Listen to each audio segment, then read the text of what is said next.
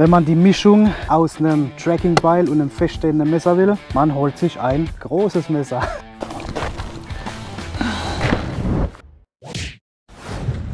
Hey Leute, ich bin der Chris vom Wolfgangs YouTube-Team und ich möchte euch heute ein bisschen mit in den Wald nehmen und äh, würde euch gerne was erzählen heute über die wichtigsten Werkzeuge im Wald, sprich Klappmesser, feststehende Messer, Äxte, Beile, Säge natürlich und was es alles so gibt. Ich würde euch ein paar Sachen zeigen davon, ähm, vor allem der Einsatzzweck, der richtige Umgang und was man einfach so alles wissen sollte. Also wenn ihr Lust drauf habt, dann kommt mit.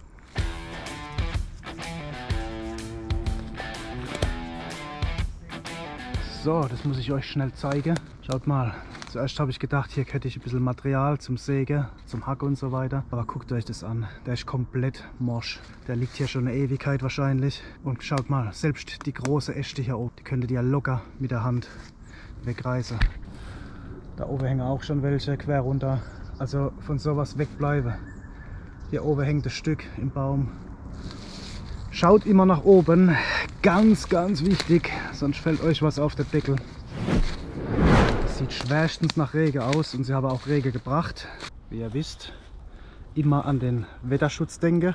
Gerade in der kühleren Jahreszeit, heute geht es wieder. Aber ich habe es im letzten Video erklärt, als es um, die, um den Wetterschutz, um die Tarp-Aufbauvariante ging. Sobald ihr nass seid, kühlt ihr ganz, ganz schnell aus und dann wird es nicht spannend, sondern gefährlich. Deswegen suchen wir uns erstmal einen schönen Platz und schauen, dass wir trocken bleiben. Schaut mal, den hier und den hier. Haben wir ungefähr 4 Meter. Ich habe es euch ja schon mal gezeigt. Passt. So, wie immer vorab, ein persönliches Anliegen ist mir einfach sehr, sehr wichtig. Wenn ihr euch im Wald aufhaltet, wenn ihr hier spazieren geht, ein bisschen Bushcraft macht oder so, ihr wisst, benehmt euch anständig, lasst keinen Müll hier, baut kein Mischt, macht kein Feuer um Gottes Wille, ähm, macht nichts, wo ihr euch und andere damit schaden könnt. Ist ja immer einfach ganz wichtig. Und gerade heute, wo es um das Thema Messer, Äxte, Säge geht und so, schaut immer, dass da was dabei habt, Erste-Hilfe-Set oder so. Ruckzuck hat man sich mal geschnitten, verletzt sich. Einfach, dass ihr reagieren könnt im Notfall. Oh.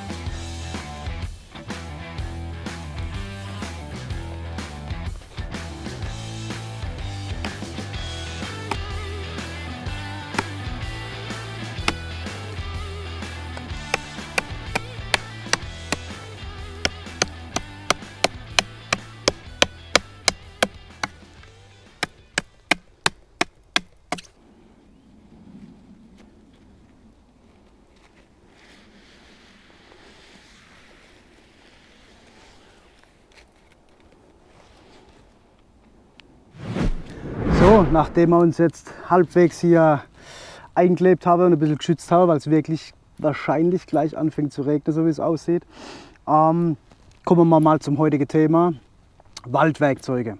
Was gibt es denn für Waldwerkzeuge? Natürlich, ganz klar, Messer, Säge, Äxte, Beile, Taschenmesser und so weiter. Ich würde sagen, wir fangen heute einfach mal beim Kleinsten an. Das ist eine Mischung aus Multitool und Messer und natürlich wird es jeder kennen, ganz klar. Ich trage es hier ganz gerne um den Hals. Ähm, ist mein Victorinox. Ähm, ist einfach ein Taschenmesser, das man überall kennt, das überall äh, anerkannt ist vor allem. Und äh, ist im Prinzip ein Multitool, einfach ein Multifunktionswerkzeug. Ihr habt hier immer eine relativ brauchbare äh, Klinge dabei, also mit der kann man wirklich viel anfangen. Ihr habt hier je nach Modell zum Beispiel eine Säge. Ist man natürlich ein wenig äh, limitiert, sage ich mal, von der Länge, ganz klar. Und so wie in meinem Fall zum Beispiel, habe hab ich hier sogar noch einen Feuerstahl mit dran. Einmal hier neben am Keugezieher und einmal sogar noch hier vorne anstatt von dem Zahnstocher.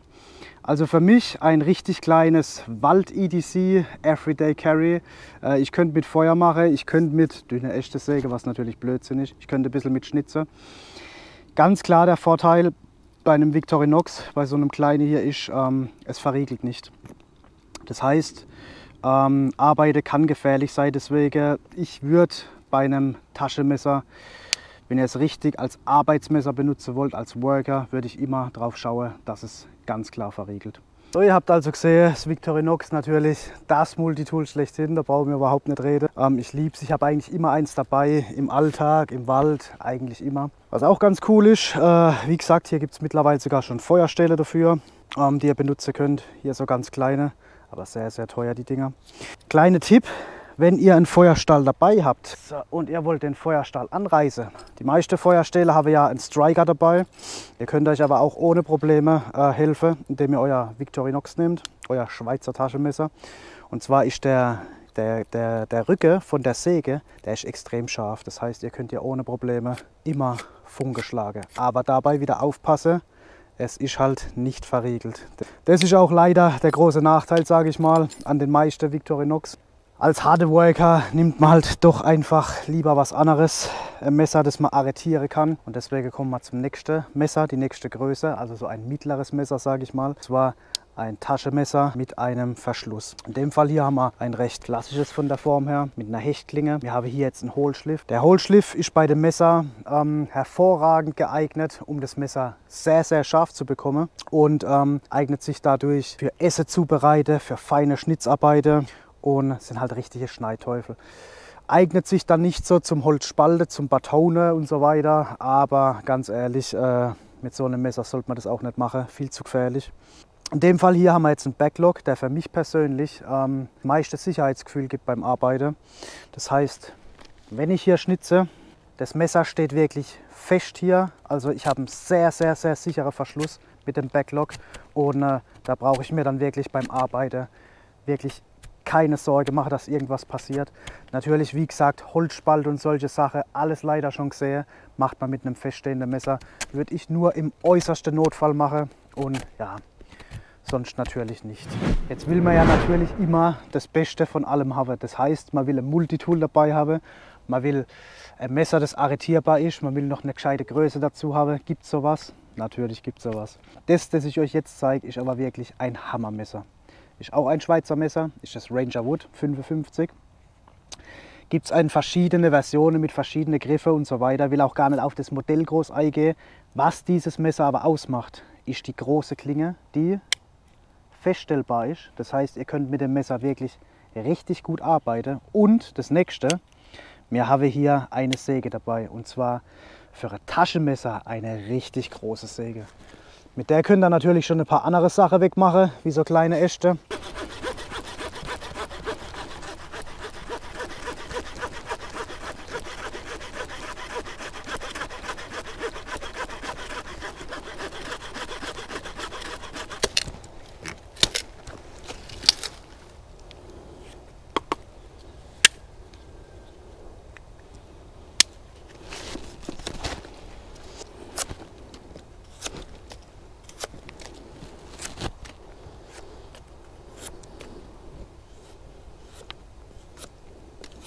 Auch hier wieder Feuerstahlanreise, den Sägerücke nehmen, kann es euch nur empfehlen.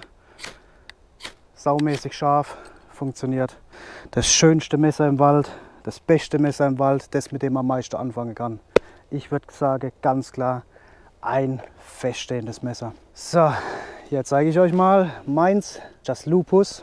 Ich habe jetzt dieses Messer heute gewählt, weil es einfach eine recht einfache Form, eine praktische Form, eine klassische Form hat. Ähm, hat also nicht groß Schnickschnack, sondern es hat, was mir wichtig ist, als Outdoor-Messer, als Bushcraft-Messer, es hat eine glatte Klingerücke. Es ist komplett scharf hier angeschliffen. Also das sind Sachen, da solltet ihr wirklich drauf schauen. Man kann natürlich den Feuerstahl auch mit einem Striker anreißen oder so, aber wenn ich mir ein Messer zulegen möchte, mit dem ich im Wald arbeiten kann, ein bisschen Bushcraft betreiben kann, dann würde ich persönlich wirklich drauf schauen, dass ihr einen richtig guten Klingerücken nehmt, einer der scharf angeschliffen ist. Ihr könnt jederzeit hier euren Feuerstahl bedienen und zwar richtig gut. Ansonsten die Klingelänge, wir haben hier knapp unter 12 cm Ich persönlich bevorzuge Messer. Ich würde mal sagen, Klinge minimal 11 cm. Also für ein feststehendes Messer, ich würde niemals weniger nehmen wie 11 cm. Man muss aber leider bedenken, Paragraph 240a, in Deutschland dürfen die feststehenden Messer in der Öffentlichkeit, um sie zu führen, maximal 12 cm lang sein, die Klinge. Deswegen darauf achte. Das hier ist eins, das Paragraph 240a konform ist. Mir persönlich ist es auch sehr wichtig.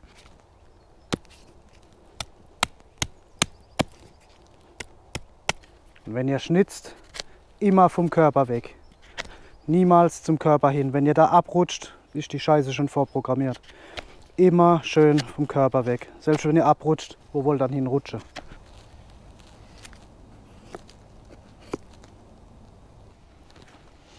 So, Holz ist ziemlich nass, klebt deswegen etwas. Also die feinste Löckchen bekommt man nicht hin. Aber ihr seht schon, ein Flachschliff, wenn er gut ausgeschliffen ist, ist schon ein richtiger Schneiteufel auf jeden Fall. Wenn ihr zum Beispiel hier feine Löckchen machen wollt oder so, rammt euer Messer, oh, der ist nicht hart genug, wie ihr gerade gesehen habt, rammt euer Messer hier irgendwo rein in eine feste Stelle und zieht dann das Holz zum, zu euch her. Also nicht mit dem Messer wegarbeite, sondern einfach mit dem Holz arbeite.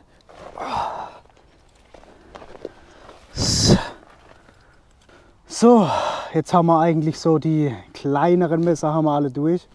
Was gibt es denn sonst noch für Werkzeuge, wenn es mal wirklich richtig dicke Äste sind? Natürlich die Säge, gar keine Frage. Für was braucht man eine Säge? Zum Säge. Da brauche ich glaube ich nicht viel dazu zu erklären.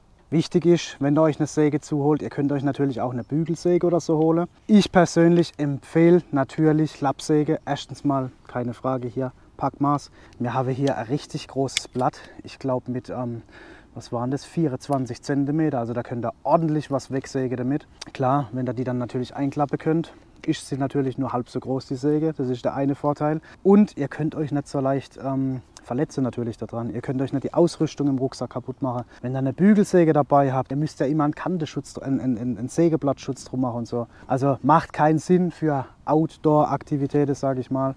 Deswegen genauso praktisch wie ein Klappmesser natürlich auch eine Klappsäge.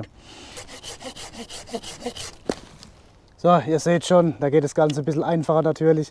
Wir haben halt hier eine große Fläche. Sind jetzt auch nicht gerade so die Hammeräste, aber ich frage mich, was soll man denn im Wald groß sägen mit einer Klappsäge. So, dann kommen wir jetzt zum wohl mächtigsten Werkzeug im Wald.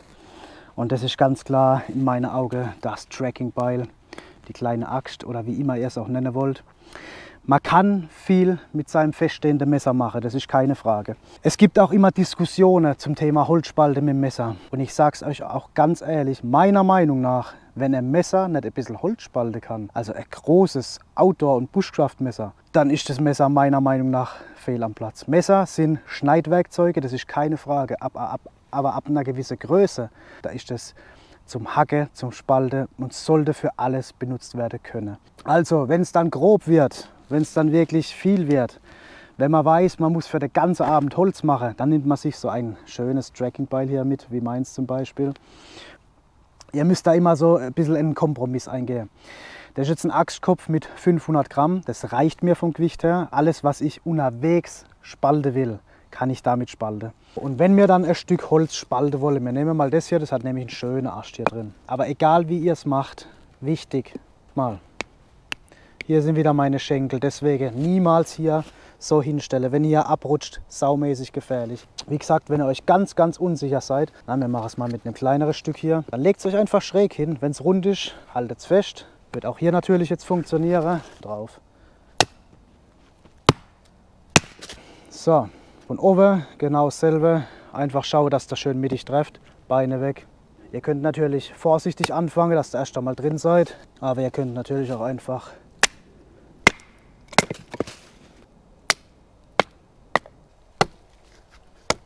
Wenn man die Mischung aus einem Trackingbeil und einem feststehenden Messer will, man holt sich ein großes Messer.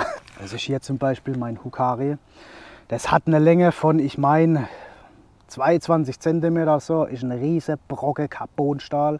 Das hier ist auf jeden Fall der Kompromiss aus allem, würde ich mal behaupten, aber zeige ich euch natürlich jetzt.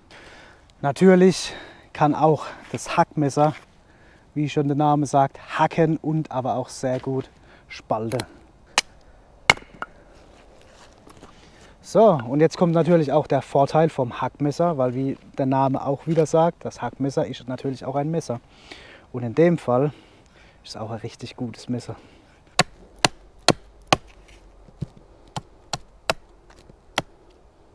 So Leute, ihr habt also gesehen, das Thema Waldwerkzeuge, Messer, Äxte, Beile, Säge, Taschenmesser. Ich hoffe, es hat dem einen oder anderen was gebracht und ich würde mich sehr freuen, wenn wir uns nächstes Mal wieder sehen. Bis dort noch. Ciao.